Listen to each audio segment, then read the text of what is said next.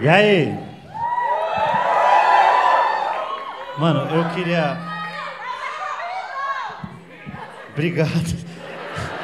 Eu queria dizer que, eu, porra, eu não, eu não tenho vício nenhum, mano. Não tenho vício nenhum. Não, eu moro com o Thiago e com o Nando, que fumam maconha, não fumam maconha. Eu não bebo. Eu, ó, você vê que na minha família eu tenho um tio que é alcoólatra, eu tenho um tio que já fumou crack, eu tenho um tio que já, já cheirou cocaína. Eu sou uma decepção pra minha família, gente. Eu tava. Eu não tenho vício, eu tenho vício só que é sexo, eu, tenho, eu sou viciado em sexo. Só que como eu não como ninguém, é mais punheta mesmo, daí que eu sou viciado também. Eu sou igual de. Cara, eu sou viciado em punheta. Muito, muito viciado punheta. Muito, muito, muito, muito, muito, muito, muito, muito, muito. Muito, muito mesmo, assim. Só que é um, é um vício que não tem credibilidade, o vício em punheta.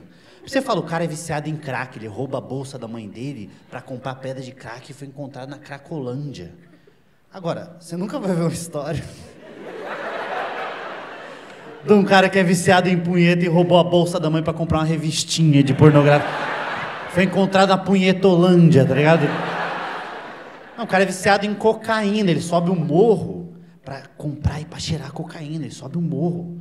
Agora, o cara que, que é viciado em punheta, ele não sobe um morro fala, não, sou viciado, preciso tocar uma punhetinha pro traficante.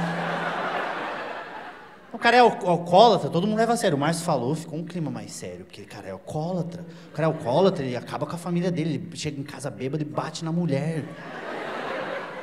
Agora, o cara que tem, toca punheta, ele não pode bater na mulher e falar, não, foi por causa da punheta que eu bati na minha mulher. E é louco porque todo homem é, é viciado em punheta. Eu acho que, que devia ter um, um punheteiros anônimos, sabia? Devia ter um. Mano, tem um Alcoólicos Anônimos, por que, que não tem um Punheteiros Anônimos? Imagina, oi, meu nome é Afonso. Fazem três dias que eu não toco uma punheta. Ergo a mão cheia de pelo, todo mundo fala. Meu nome é Di, eu...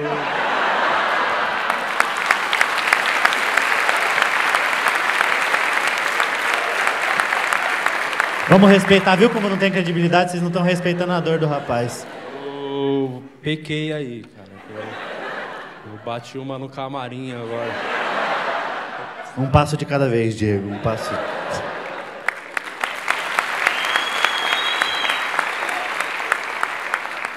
Cara, e todo homem é viciado em poetas. Mulher, a mulher também, ela gosta. Mas, não de bater poeta, pra, pra ela, né?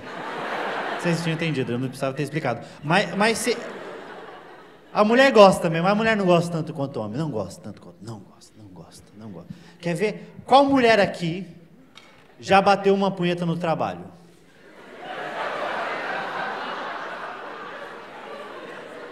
Alguma? E eu não preciso perguntar para os homens qual homem aqui já bateu punheta no trabalho. Não preciso perguntar. Sabe por quê? Porque eu tenho certeza que 80% dos homens que estão aqui já tocaram e os outros 20% estão pensando, caralho, dava?